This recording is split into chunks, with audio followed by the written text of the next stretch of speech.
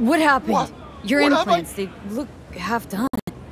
Done or not done. It is of no importance.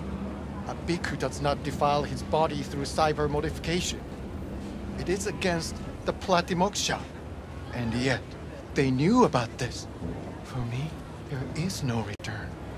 Hold on. Somebody forced you? Not just me, my brother too. They drugged us. Desecrated body. And all the while, they mocked me. How can you do this to a fellow human being and still mock them?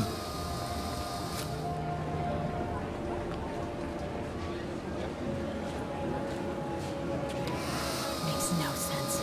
Who'd go and do something like this, and why? We were out begging for alms when, when They had to take implants as a donation. They looked more machine than human. They told us they would improve us like tools. Maelstrom.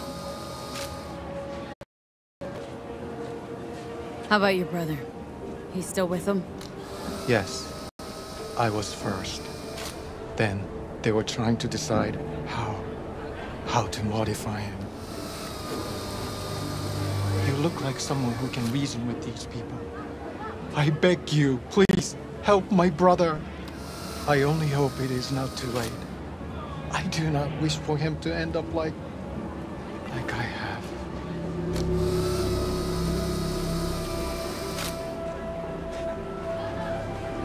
Fine. I'll help. But just so you know, things might get ugly. Maelstrom doesn't mess around. There must be some other way.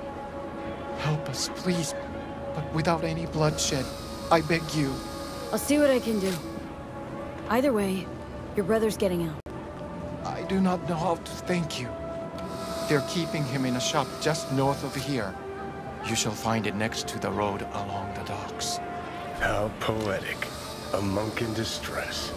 They should include this in your epic. What are you gonna do? Cross your legs and meditate till they drop dead? Wish you'd drop dead.